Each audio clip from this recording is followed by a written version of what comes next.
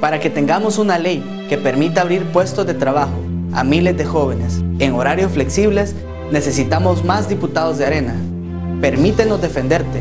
Somos gente de trabajo a tu servicio.